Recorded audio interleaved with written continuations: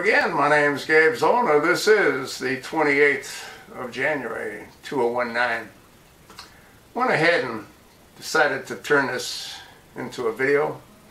And the title is ZolnaReport.com might be one of the only sources of true news. And the reason that is, is as those of you that are in tune know that YouTube has put out new policies they're going to ban anything and everything that disputes the government narrative.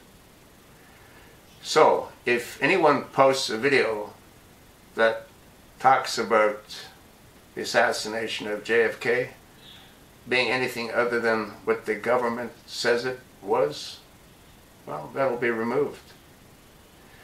If anyone talks about 9 11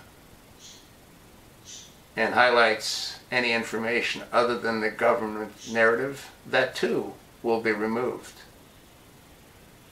If anyone talks about anything that differs from the government's presentation, that too will be removed. The good news is, as I've written here, since ZolnaReport.com has its own server, thanks to Aaron and its own webmaster, thanks to Nick of Indigo Swift. YouTube can't block or censor what we report.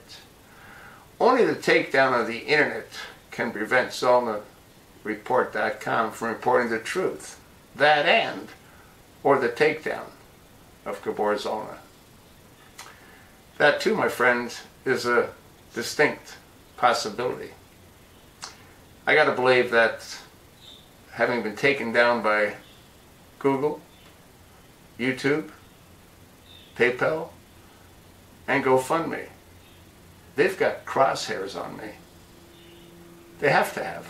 Otherwise, those other agencies wouldn't have done what they did to me. The good news is I'm going to keep doing what I'm doing as long as I can keep doing it. And as long as the internet's up and they haven't taken me down, you can expect to get the news the way I see it reported to you. Hopefully, the channel will grow when people realize that we're one of the only sources to obtain unfiltered truth. not always right but I'm also not always wrong. I want to thank those guys and gals that signed up to ZolnaReport.com. I'm going to ask each one of you to find one of your friends and ask them to join as well.